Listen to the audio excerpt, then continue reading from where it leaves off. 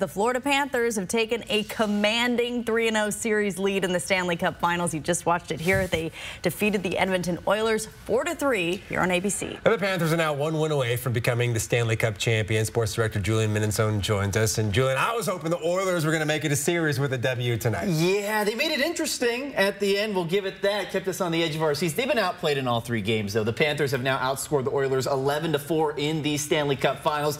Not a recipe for success. This is how it all went down. Florida came out firing. Pick it up here in the first period. Uh, Sam Reinhart, and he's not going to miss many of those. Punches it home as the Panthers take the one to nothing lead. But Edmonton answered in the second. Warren Foegele with the breakaway chance right here. He buries it past Sergei Bobrovsky to tie the game. And look at the atmosphere there in Edmonton. Absolutely electric. Now, still in the second period, Big mistake by Edmonton goalkeeper Stuart Skinner right here. He turns it over behind the net. Yeah, that's a no-no. Vladimir Tarasenko is there to finish it off as the Panthers take a 2-1 lead. Then later in the period, Oilers with the puck once again. And once again, they turn it over in their own zone. Sam Bennett makes them pay. That makes it 3 to 1 as the Oilers, they did make it interesting there at the end, but they couldn't get over the hump. 4 to 3 is the final. Florida has a 3-0 series lead. Only four teams have ever come back from a 3-0 series deficit in the NHL playoffs.